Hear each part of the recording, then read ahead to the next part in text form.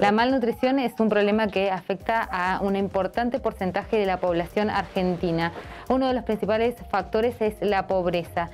Eh, nosotros hicimos acá en General Roca un relevamiento de niños y niñas en edades de 0 a 18 años, eh, generalmente en los barrios que más estamos, Barrio Nuevo, Puente Cero, eh, y esos datos arrojaron un 55% de niños y niñas malnutridos.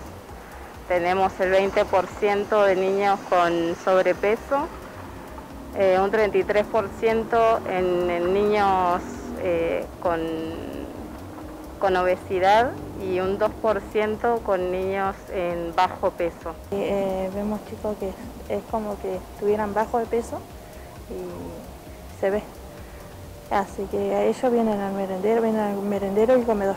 A la mañana, en los días de comedor, se hace lo que hay.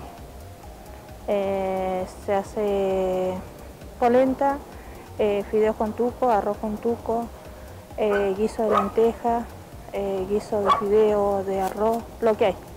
Lo que se juntó en la semana se hace. Las organizaciones sociales que trabajan en este tema aseguran que es muy difícil poder acceder a alimentos que tengan mayores nutrientes como las frutas y hortalizas. No llegan ni siquiera a las cuatro comidas, habían familias que comían una vez al, día y tenemos familias que comen dos o tres, pero muy poco el porcentaje que come las cuatro comidas y la, nutrición que deberían tener. Eh, para la merienda eh, tratamos de dar tres veces a la semana leche porque a mí me gustaría dar toda la semana, pero el costo de la leche no, no, no llegamos. Eh, un día leche, un día té y así. ¿Acompañado con eh, con lo que hay también. Eh, rosquita, pasta flora, bizcochuelos, hacen las chicas, piseta, torta frita, pan casero.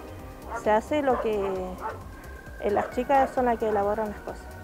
La mayor cantidad de veces son alimentos no perecederos como las harinas, las grasas, para poder realizar meriendas y también almuerzos. Es una de las demandas más importantes que tienen las organizaciones que trabajan con los niños y niñas.